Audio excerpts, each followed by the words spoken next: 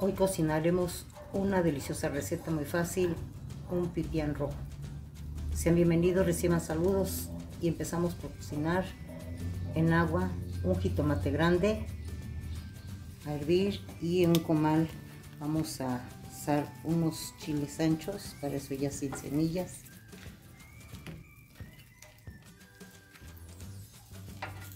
Vamos a asar muy bien. Vamos a tener cinco chiles anchos y también si queremos un poquito de picante con dos chiles moritas. Los asamos. Ya los tenemos asados, es como vamos a incorporarlos en el agua hirviendo donde está el jitomate, listos para que se hidrate.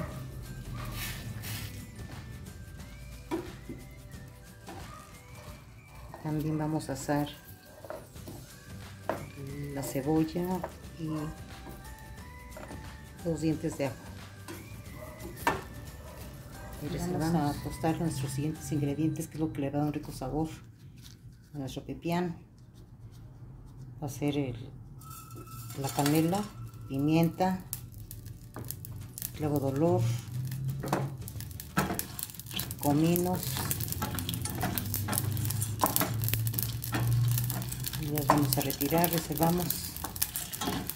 Y continuamos en tostar 100 gramos de cacahuates. Procurando no se queme. Una cuchara tostada y es como lo vamos a retirar. Y lo siguiente que tostamos las semillas de calabaza. Igual 100 gramos tostamos igual los retiramos y reservamos. También vamos a tostar el jonjolí estos ingredientes es lo que van a ayudar a espesar a nuestro rico pipián. Y preparamos nuestro adobo que va a ser nuestro delicioso pipián.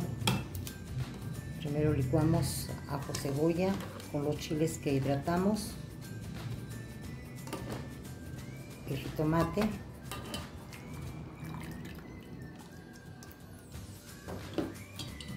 y con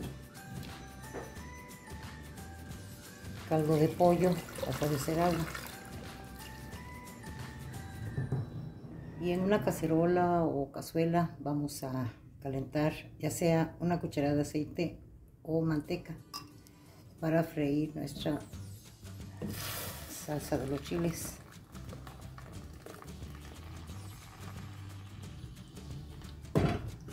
Y continuamos vamos a licuar lo que es el cacahuate, las pepitas o semillas de calabaza y canela, pimienta, comino con caldo de pollo. Licuamos y reservamos. Ya tenemos sirviendo nuestra salsa de los chiles. Es el momento de agregar lo que licuamos, los demás ingredientes, como la canela, es lo que nos va a aportar un delicioso sabor a nuestro pipián. Vamos a agregar un poquito más de agua, si es necesario, o caldo de pollo. Y esta preparación también lo puede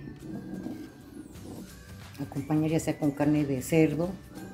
Yo voy a degustar con pollo. También es muy delicioso. Y aquí es al gusto si le quieren dar sabor con la sal o con el concentrado de pollo. Una cucharada. Es como nos va a quedar más rico. Los ricos sabores y olores de los ingredientes. Es una delicia. Esperamos a que hierva. Recuerde estar moviendo constantemente para que no se nos pegue. Este delicioso pipián con gran sabor y esperando se anime a gustar.